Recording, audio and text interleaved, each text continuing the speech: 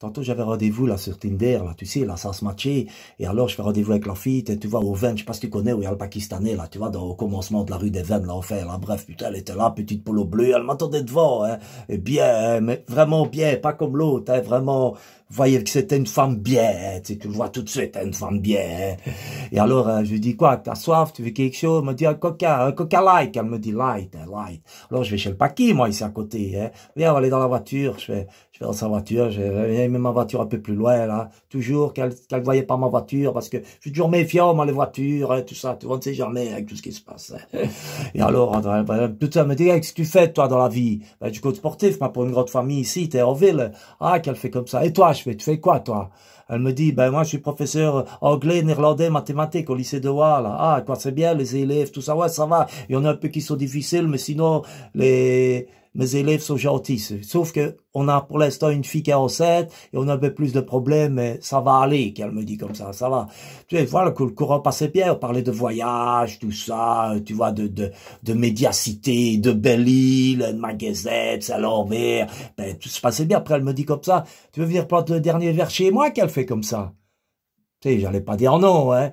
Je la, je la suis, tout ça, avec ma voiture, tu vois, l'habiter au-dessus de la place Saint-Lambert, là, tu vois, là où il y a les arrêts de bus, la rue, comment ça s'appelle encore, rue, rue Hocheport, voilà, Hocheport, tu vois. Alors, je garde ma, parce que là, c'est un peu de bordel aussi, là, pour se garer. En fait, elle, elle trouvait, elle avait une belle place de vente, et moi, j'ai dû me garer, à un kilomètre, là, presque venir, en plus, il pleuvait, là, j'étais comme un straw, là, tu vois. En fait, elle m'entendait devant, tout ça. Et alors, après, je rentre chez elle, tout ça, on prend, elle sort une bouteille de vin, et pas du vin chez Lidl, qu'elle avait un beau Bordeaux, là, je pense qu'elle avait acheté ça, tout le bordel, il me disait, t'es bon ton au bois un verre, tout ça.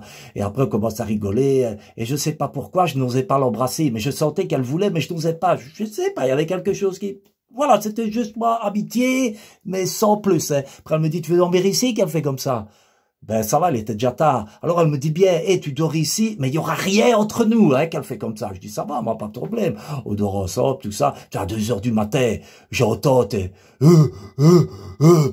Oui, moi je la touche comme ça, je lui dis, ça va, t'es malade ou quoi? Je lui dis comme ça. Elle m'a dit, non, je fais ça souvent le soir, mais tracasse pas. Et elle recommençait. Elle me dit, c'était un toc que j'ai. Euh, euh, euh, putain, j'avais peur, je me dis qu'il y a une faute. Et celle-là, elle va peut-être me trucider ou quoi. Alors à un moment donné, je lui dis, écoute, je remets mon pantalon de ça, j'ai oublié des clés, là, ou je sais pas quoi, là, dans la voiture, plus que j'avais dit. Quand je suis descendu, je me suis cassé, moi qui est une folle. Elle avait des problèmes psychologiques, hein, celle-là. Et elle m'a même parsonné. Ah, elle m'a parsonné. Ça veut dire qu'elle avait quelque chose à se reprocher. La vie, quoi. Ah.